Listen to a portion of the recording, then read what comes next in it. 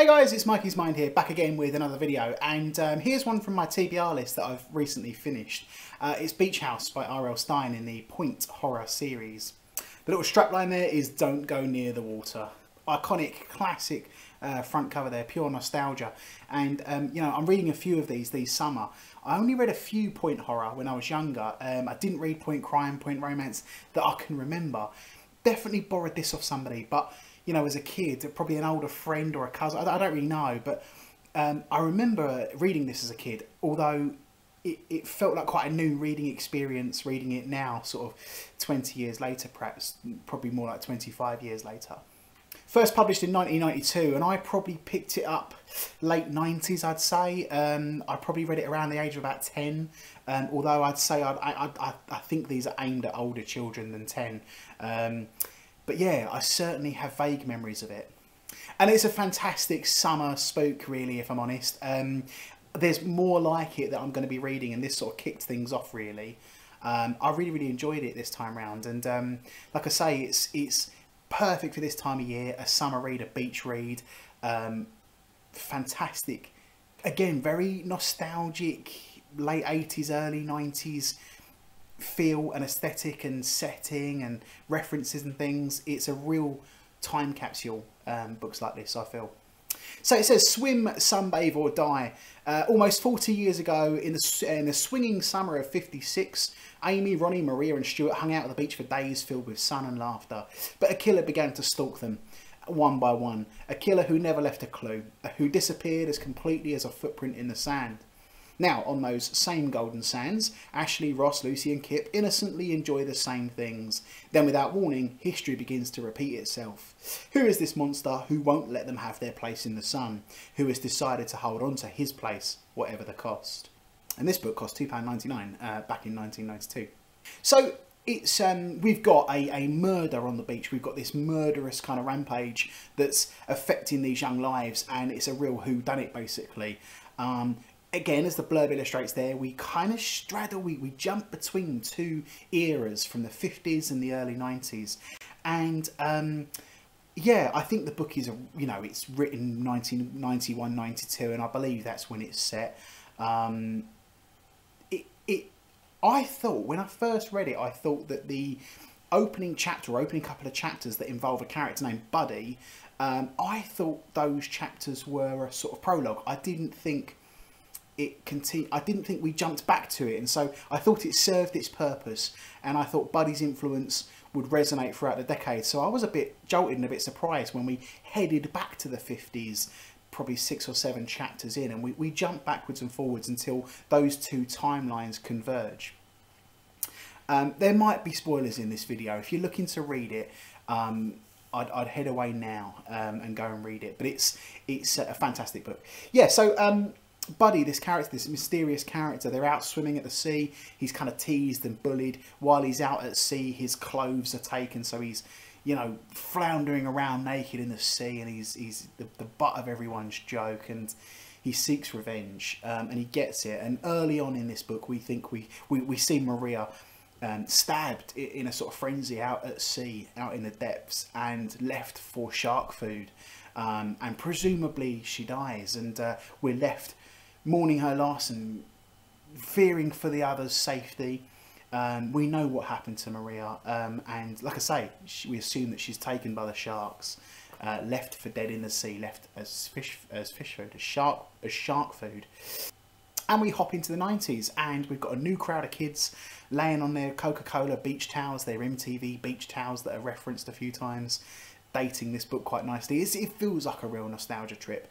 Um, an innocent time perhaps, but these aren't innocent times. They're being stalked and people go missing in these mysterious circumstances and the reader is left kind of guessing, suspecting who is responsible for this. I think the thing I had the most fun with with this book was trying to second guess, trying to work out what Buddy's influence was across the decades.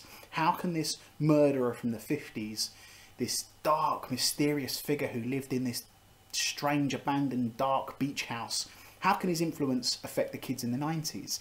I was thinking, is he, did he have a son? Is we, we, we meet a new character um, called Brad, and I wondered, is he Buddy's son, or is it a re relative of some description, or have they both had the same kind of influence or something. You know, it was it was um, I was trying to question that, and although I knew, I felt I knew the link between them. I, I had fun kind of saying, okay, it's likely that I know how these books work, and it's it's likely A, but but what if it was B or C? That was a lot of fun trying to guess perhaps the links.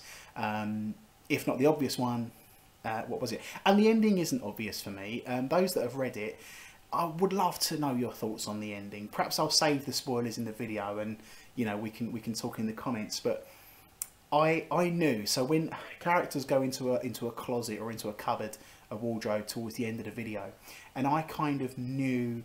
I kind of felt that when they came out of that closet, it wouldn't be the year they kind of thought it was, or something like that and I wasn't a million miles off. That closet does serve that kind of purpose, but an unusual ending for a, for a traditional sort of slasher kind of book, an unusual element at the very end uh, to to explain and to to justify and reveal all of all of what's been happening and how how Buddy's influence kind of spanned decades. I thought it was an unusual one, a little bit Lion the Witch in the Wardrobe, um, in some ways.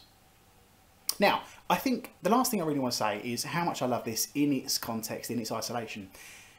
I teach kids, and I don't know if they'd get a kick out of this. They would, from a sense of if they love horror and thriller and slasher kind of gore stuff. It's not gory, but if they like these being stalked by murderers kind of books, um, it's at the lower end of that scale. That makes it sound, you know, horrendous. It's not. It's not American Horror Story levels of, you know, but it's it is teens being stalked by a, by an unknown killer. Um, I don't think. I don't. I wonder. I'll ask them. I don't think modern kids would get such a kick out of this. And what I really, really had to avoid, and what I want to avoid, and what I'd, I'd encourage people to avoid, is to apply a sort of modern lens on this book. I found myself doing it. For example, in my notes, I wrote things like that the boy's behaviour in the book is quite predatory. Uh, they, they, they constantly want to get somebody alone. They're grabbing girls, they're picking them up and running away with them. They're, they're physically in control at all times. And it leaves our protagonist, Ashley, um, in a really vulnerable situation.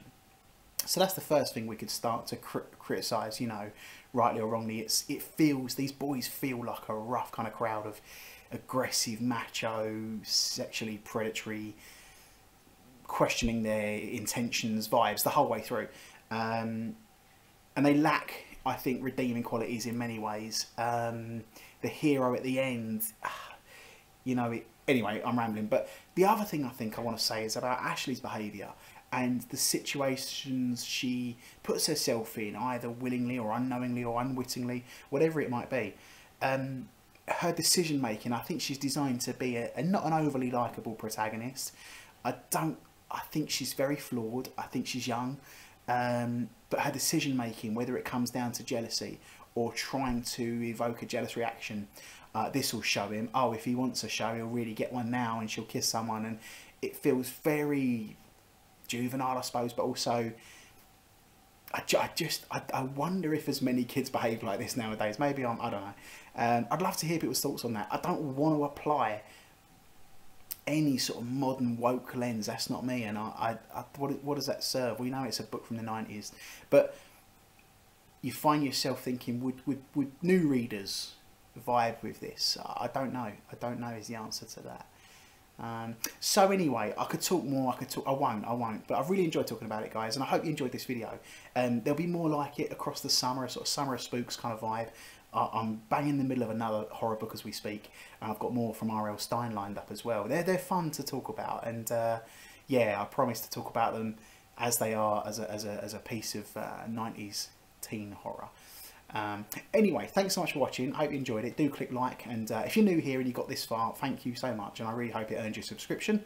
Uh, do leave me a comment below. Um, I love reading your comments. Enjoy the rest of your week, guys. Take care.